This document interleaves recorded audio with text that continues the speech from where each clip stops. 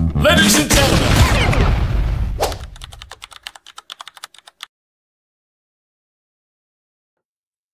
This episode is sponsored by Advanced Skills Company, the official agent of JPI Healthcare in Iraq. I personally use the products of JPI Healthcare in my clinic for years now, and throughout the years, these products have been amazing in terms of providing excellent image quality at the lowest radiation dose possible, and they are durable, reliable, and efficient. I recommend if you are looking to establish your radiology practice, whether in a clinic, in a center, or in a hospital setting, to go to the JPI Healthcare website, see their products for yourself, and then call Advanced Skills Company if you are in Iraq. And these guys will provide the best possible solutions, whether in terms of hardware or software. I will leave the contact information in the video description. And don't forget to use the magic word highlights in radiology because you will get a 10% discount on all JPI healthcare products till the end of 2024. Hello everyone and welcome to a new episode of Highlights in Radiology Season 2. In this episode, we are going to talk about a very common cause of shoulder pain, which is subacromial impingement or supraspinatus impingement. Before we start, I want to remind you to like, subscribe, share, and tell your friends about us. This is Dr. Dhia Abdul Wahab, and this is Highlights in Radiology Season 2. Stay with me.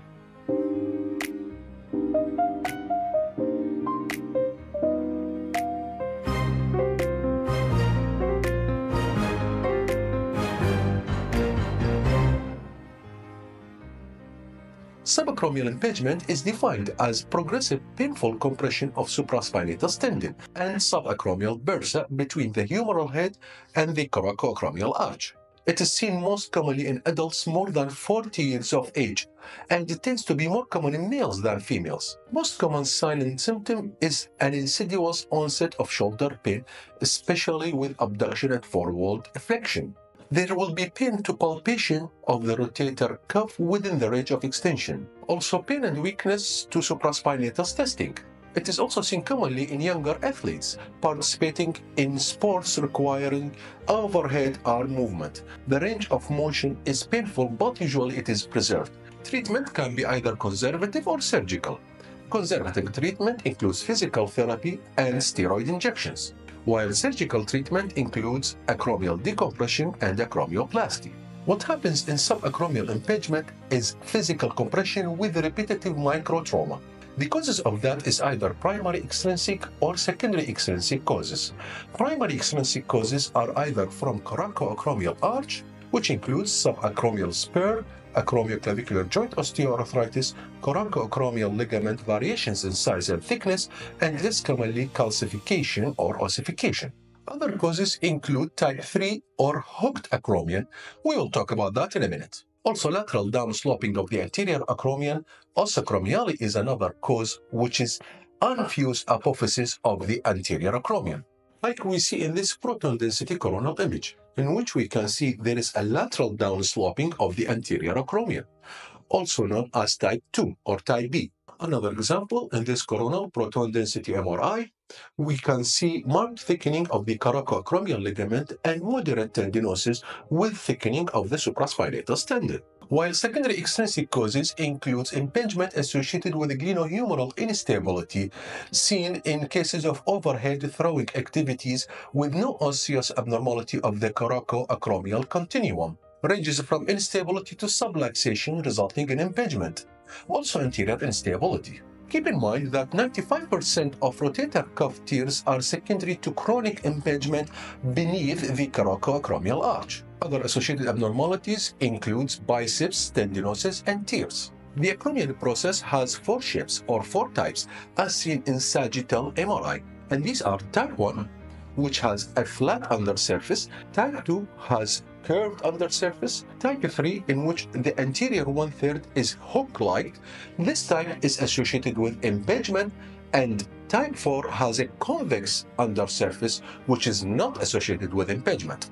In this example, demonstrating type 1 acromion process, which has a flat undersurface, note that the patient has rotator cuff tear and Hill-Sachs deformity secondary to trauma. Another example showing type 2 acromion process, which has a curved undersurface and a lower association of rotator cuff tears compared to type 3. This is an example of type 3 acromion process which has an anterior hook. This has the highest association with impingement. And in this example, we can see a large enthesophyte at the anterior acromion at the insertion of the coracoacromial ligament. And this is an example of type 4 acromion process which has a convex undersurface and this type is not associated with impingement. Another example showing the four types of the acromion process. This is type 1, type 2, type 3, and type 4 acromion process. Remember, type 3 has the highest association of impingement, while lateral downsloping of the anterior acromion has two types, as seen on coronal MRI images, which are type A, which shows mild or non-lateral downsloping, and type B, showing moderate to marked lateral downsloping. As we can see in these examples, on the right image we can see a non-lateral downsloping or type A, while on the left side we see lateral downsloping or type B, which has a higher association with impingement syndromes. So what radiology can offer in subacromial impingement or supraspinatus impingement? Regarding plain radiography, we will see a hooked acromion or type 3 acromion, which is associated with increased risk of impingement as we said also subacromial spurs or acromioclavicular joint arthritis, which includes subchondral cysts or spurs. Like we see in this X-ray, we can clearly see the hooked acromion process or the type 3 acromion, which is associated with increased risk of impingement. Another example showing subacromial spur narrowing the subacromial space. And in this X-ray, we can see a large subacromial spur narrowing the subacromial space. Another example showing osteoarthritis of the acromioclavicular joint with joint space narrowing. Spurs and cysts of the acromion joint are also seen. On CT scan, we can see the subacromial spurs with or without acromioclavicular joint sclerosis and hypertrophy. Also, cysts and anterior inferior acromial spurs sometimes seen. Coronal and sagittal reconstructions are helpful for the acromial shape assessment, while in CT arthrography we will see contrast entering the rotator cuff tear. Like in this example, we can see the acromial spur, sclerosis of the acromioclavicular joint also seen, and in this CT arthrography, we can see the sclerosis of the acromioclavicular joint with contrast entering the rotator cuff tear. On MRI, on T1 weighted imaging, there will be thickening of the tendon of the supraspinatus muscle with intermediate signal intensity, an impingement related to tendinopathy, with or without thick coracoacromial ligament, which narrows the subacromial space on sagittal images. Also, hooked acromion on sagittal images is seen with or without hypointense greater tuberosity cysts like in this T1 weighted image, showing thickened tendon with intermediate signal intensity and impingement related to tendinopathy, with thick coracoacromial ligament which narrows the subacromial space. Another example of T1 weighted image showing thickened tendon with intermediate signal intensity and prominent acromial spur. While on T2 weighted imaging, we will see tendon degeneration as thickened tendon with increased signal intensity. Also, full thickness supraspinatus tears might be seen as a hyperintense fluid-filled gap while partial tears will be seen as hyperintensity undersurface with hyperintensity bursal surface and hyperintensity in the interstitium with or without hyper-intense greater tuberosity cysts and the fluid signal intensity in the bursae, which can involve the subacromial or the subcoracoid bursae, with or without thickened coracoacromial ligament. Like in this example, we can see tendon degeneration as thickened tendon with increased signal intensity, also partial thickness supraspinatus tear seen as hyperintense fluid-filled gap with some hyperintensity in the interstitium.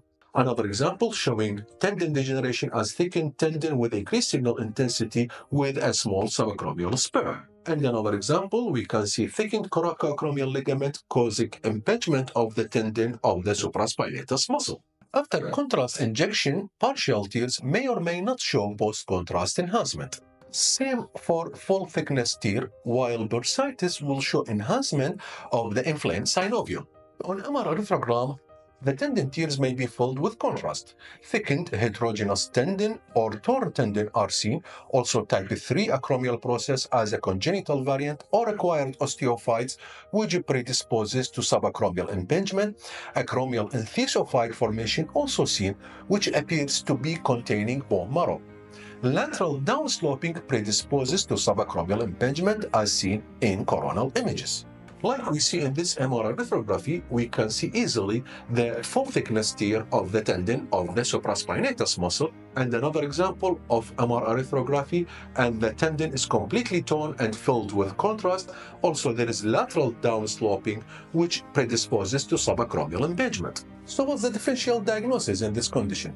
Well, the list here includes internal impingement, also known as posterior superior glenoid impingement or PSGI, acute trauma, os acromiale, suprascapular denervation, adhesive capsulitis, subcoracoid impingement, and hidden lesions. Regarding internal impingement, it is seen in throwing athletes, so it's occupational in nature.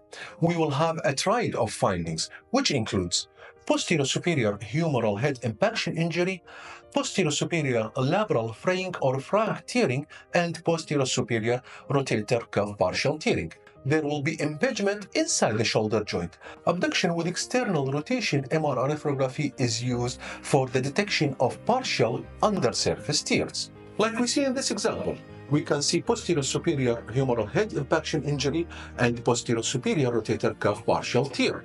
Another example, we can see the posterior superior impingement on coronal T1 weighted MR arthrogram with fat suppression and transverse T1 weighted MR arthrogram. They show partial tear in the supraspinatus tendon as well as degeneration and fraying of the posterior superior glenoid labrum. In acute trauma, there will be rotator cuff tear on acute traumatic basis with or without the existing impingement and or fractures of the humerus, glenoid or both. We will see hyperintense edema or hemorrhage on T2 weighted imaging. Like in this example, which show avulsion injury with subscapular tendon tear with tendon retraction following acute trauma. Another example showing myotendinous junction rupture of the supraspinatus muscle following trauma. In acromiale, we will see degenerative changes that may lead to pain with abduction. It is a failure of fusion of the normal ossification. The preacromion, which is the most distal type of os acromiale, is excised, while others are surgically fused with or without rotator cuff tear. Like we see in this X-ray, we can see the preacromion or os acromiale as an unfused apophysis or ossicle. Another example in this MRI, we can see the preacromion or the os acromiale unfused due to failure of complete fusion. Suprascapular denervation can mimic impingement clinically. There will be weakness and pain of the supraspinatus and infraspinatus. Denervation hyperintense muscles are seen on T2 weighted images, on STIR images, proton density fat saturated images, with or without paralabral cysts, which causes compression in neuropathy.